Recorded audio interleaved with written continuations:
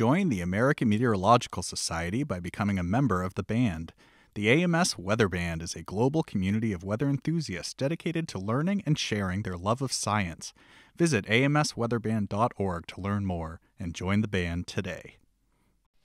It's the Weather Xtreme video. This is the morning edition. This is for Tuesday, the 16th of March. I'm James Spann. We have a potentially dangerous, severe weather setup for tomorrow afternoon and tomorrow night, but today the weather active as well. But clearly, we have a lot to talk about this morning, so let's go right to the maps. This is the upper air look across the country. A very energetic March setup here. We have one weakening upper low that's coming up toward the Great Lakes, a new one diving down into Arizona, and that's the one that will bring the risk of severe storms tomorrow afternoon and tomorrow night.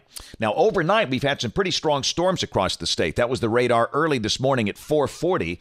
Uh, showers and thunderstorms with heavy rain through parts of North Alabama. One batch of storms coming through southwest Alabama that did prompt a tornado warning briefly for parts of Marengo County early this morning about 4 o'clock. Uh, that warning was canceled, was not extended, and that's producing heavy rain as I speak through parts of Wilcox and uh, Dallas counties.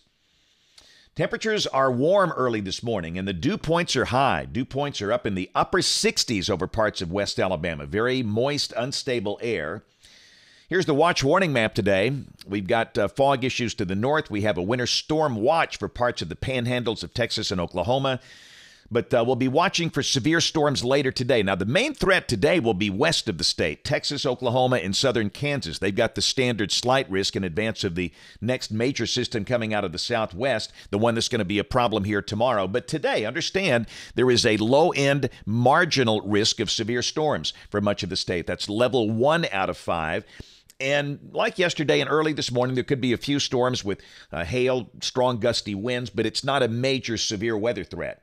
But tomorrow we do have a major severe weather threat for the southeast United States. That's the large view.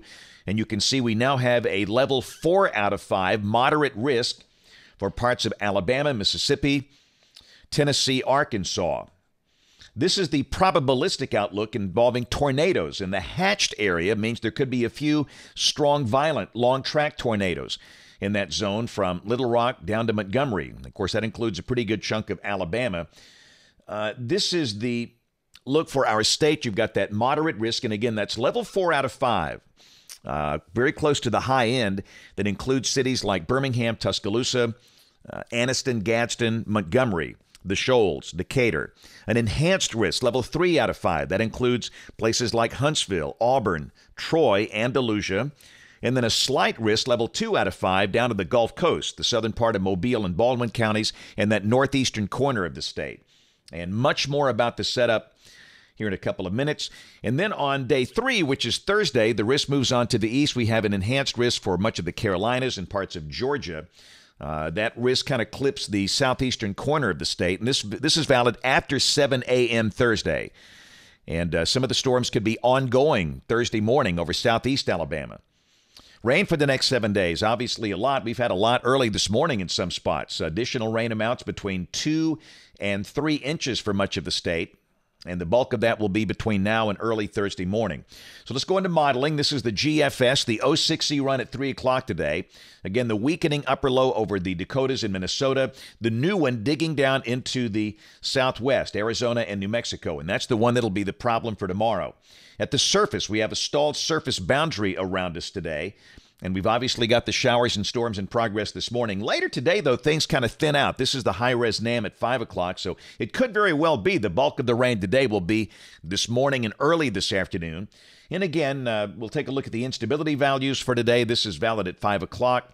Uh, no instability for northeast Alabama, but there is some from Birmingham south and west. And the shear, not much at all. So we don't expect a tornado problem today. But again, some of the storms that uh, uh, carry on this morning, this afternoon, could produce small hail, gusty winds. But let's focus on tomorrow. Uh, this is at 3 o'clock, I'm sorry, 4 o'clock tomorrow afternoon. We're back on daylight saving time.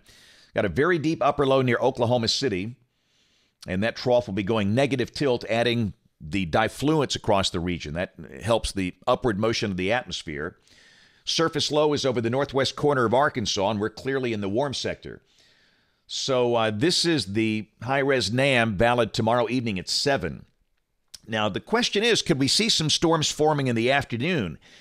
Uh, and that's a possibility. Uh, I, I, could see a situation where we had some scattered storms in the afternoon, and those could go severe. But the main action is still over Mississippi tomorrow evening at 7 o'clock. I really get the idea this will be a mainly nighttime event for the state. But again, if storms can get going in the afternoon, they could be severe. But the main dynamic support comes in here tomorrow night. This is the instability tomorrow evening at 7. You can see some spots hitting uh, 2,000 joules per kilogram. This is the 0 to 1 kilometer storm relative helicity, and obviously that's plenty of shear to get updrafts in rotation. And this is the STP, a composite index, the significant tornado parameter. And again, you can see uh, a number of spots, five, six, seven units. The max is 11.3 over Mississippi. And uh, that obviously supports supercells. And let's go to 1 a.m. This is after midnight tomorrow night, and we've still got elevated STP values. So, again, I just really think the bigger issues will be tomorrow night, but still, we have to watch any storms that pop tomorrow afternoon. But we've kind of expanded the, the window here. Uh, kind of opened up a 12 hour window just under the assumption some of the afternoon storms might go severe. So, north and west of Birmingham, 1 p.m. to 1 a.m. Uh, Birmingham, Tuscaloosa, Anniston, Gadsden, 3 p.m. to 3 a.m. And then uh, Montgomery, Auburn, Opelika, 6 p.m. to 6 a.m. And again, we might adjust these times again later today as new model data comes in. One more graphic from model output. This is the uh, high res NAM, and this is the updraft helicity product. And you see those gray lines that represents rotation, storms that are rotating. And again, you can see a number of those tracks through Alabama, uh, parts of Mississippi and parts of West Tennessee. So, again, it, just uh, please help us by letting your friends and neighbors know that there's going to be a very active day tomorrow and that they need to be able to hear warnings. The bulk of the population that really doesn't pay attention to weather, they just think they're going to hear a siren. And if you could encourage them to be sure that they've got wireless emergency alerts enabled on their phone, uh, have a weather radio if they can pick one up today. They're probably hard to find today but just be sure they can hear warnings. And since this is a nighttime thing, that's really important. I have great concern over the siren mentality. And then, you know, know your safe place, know where you're going, helmets for everybody. You know the drill if you watch these videos, but just help us tell your friends and neighbors about the situation. All right, so let's go to Thursday. Everything's uh, winding down. Cooler, highs in the uh, mid 60s, maybe some lingering rain for the northern third of the state. This is Friday. The day will be Mostly cloudy, cool, the high only around 60, and there could be a touch of light rain, but much of the day dry. Saturday should be a dry day, partially sunny with a high only in the upper 50s. This is Sunday. Many spots will be in the mid to upper 30s, maybe a touch of light frost in spots for the colder valleys, but the day will be sunny, the high Sunday mid 60s. Monday, we're still dry, and this is a week from today, Tuesday the 23rd. Again, uh, you can see the troughiness west of the state. A surface low is over Wisconsin with a trailing front, and that will probably bring rain back in here by Tuesday night. That would not be a severe weather look. But let's go out to the end of next week. This is Friday, March the 26th. Very sharp negative tilt trough just north and west of the state. A deep surface low over southern Illinois, and that would be a severe weather look if this verifies. And again, we stress this is at the end of next week, and this will probably change, but something like this is certainly possible considering the time of the year. Rain for Birmingham off the European ensemble, the mean about five inches between now and the end of March. There's the cool down after temperatures around 80 tomorrow. The high Friday 59. And you see 39 Sunday morning. This is for Birmingham. So the colder pockets could see some scattered light frost Sunday morning, but then we go back in the 70s next week. And the CPC outlook, this is for March 23rd through the 29th uh, suggesting temperatures here could be a little above average. That's it for the Weather Xtreme video this morning. We'll have notes on the blog. The next video here by 3 o'clock this afternoon. If you can, catch us this evening on ABC 3340 News at 4, 5, 6, and 10 o'clock. Thanks for watching. Have a great day, and God bless.